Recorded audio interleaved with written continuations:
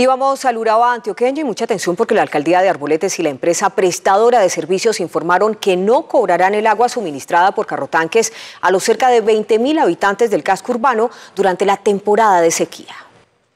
¡Llevo el agua, pueblo! ¡Llevo el agua! Con este pregonar se despiertan hace 10 días habitantes de Arboletes.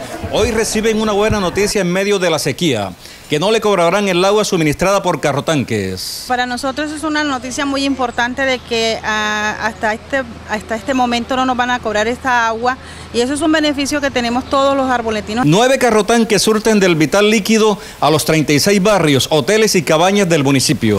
Dios quiera y mande un aguacero y esa, esa represa la vuelvan a arreglar para que eh, no vuelva a suceder esta situación que está pasando. Según el comunicado, la empresa tiene recursos para el pago de carrotanques hasta el 20 de enero. En adelante lo hará la alcaldía con ayuda del gobierno nacional y departamental. El agua que se le está entregando a la comunidad es gratis, a nadie se le está cobrando un peso por esta agua. La empresa instaló en los barrios tanques de 5 mil litros.